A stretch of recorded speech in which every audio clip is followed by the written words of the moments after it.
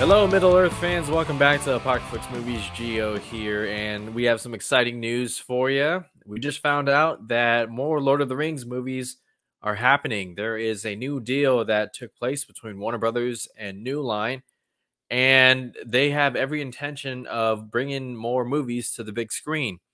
This latest report comes from the Hollywood Reporter and it reads Warner Brothers and New Line are going back to Middle Earth with the studio making a deal that will allow to develop more Lord of the Rings movies. The move announced during Warner Brothers Discovery investor call Thursday comes as CEO David Zaslav seeks to assure Wall Street that Warner's is still very much in the franchise game here harking back to the 2000s glory days when the studio was minting money with Lord of the Rings, Harry Potter, and Christopher Nolan's Dark Knight trilogy. This past November, Zaslav said he would like to make a deal with author J.K. Rowling for more Harry Potter and initially floated the notion of a Lord of the Rings return.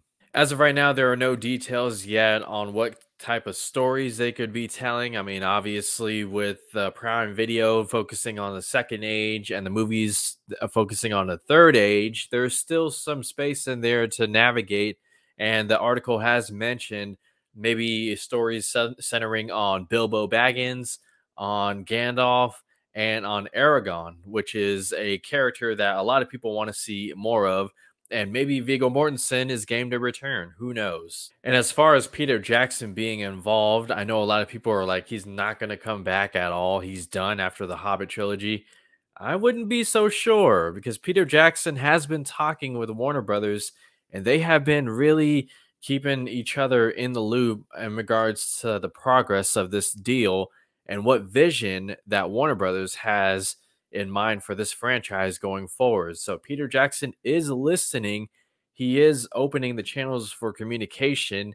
And that right there is a start to maybe him being involved, whether it's a producer, him coming back to direct.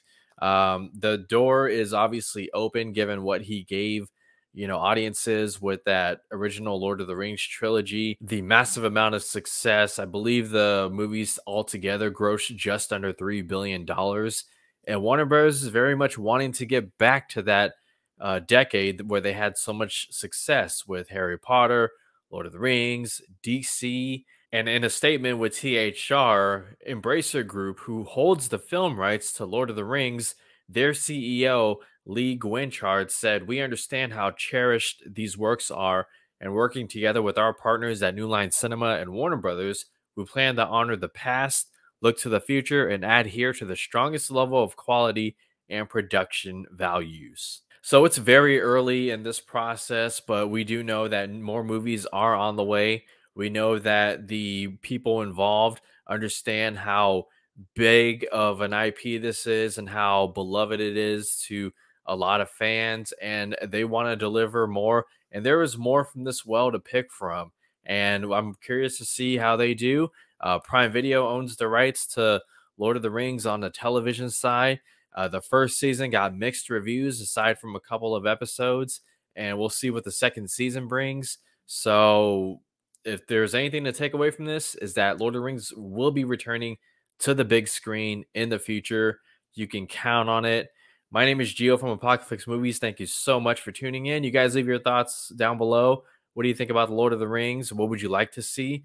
We're very curious to hear your thoughts. Hit that thumbs up. And until the next video, you guys take care.